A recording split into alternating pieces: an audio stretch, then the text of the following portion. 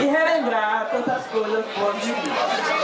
Mas antes de cantar, eu queria te falar uma coisa.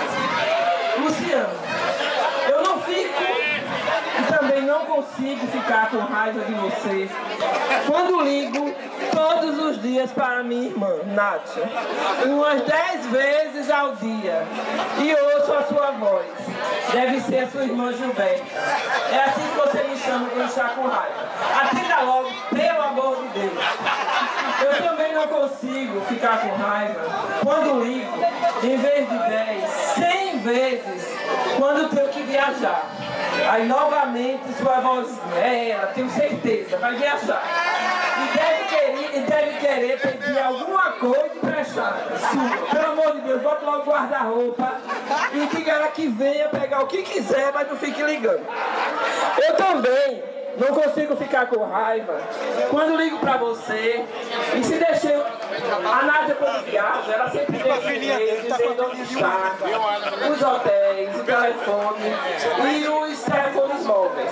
Então um dia ela me pediu uma bolsa emprestada e levou para essa viagem.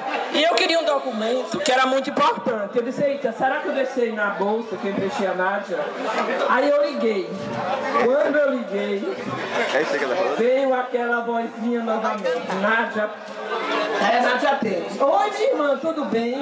E lá vem aquela vozinha. Nádia, não acredito que seja o Gilberto. Aqui, em plena praça de São Marco, em Veneza. Deus, até aqui. Também não fico com raiva quando ligo e agora, por acaso, é você que atende o telefone de minha irmã e fala bem delicadamente. Gilberta, sua irmã está no banheiro fazendo cocô. Pode? Também não fico com raiva quando, no meio da tarde, ligo outra vez. Mas agora de uma maneira assim bem estranha. Suspirando. Suspirando. E eu pergunto, a Nádia está? Eu fico preocupado e pergunto, Luciano, alguma coisa, Luciano? E você continua a suspirar e fala, Betinha, até nessas horas, você atrapalha. Aí é a voz da minha irmã que eu ouço. Minha irmã, não está atrapalhando nada não, é que ele acabou de subir as escadas. Sabe por que não consigo ficar com raiva de você? Porque te amo muito. E agradeço a Deus todos os dias por você fazer parte do nosso família. Beijo.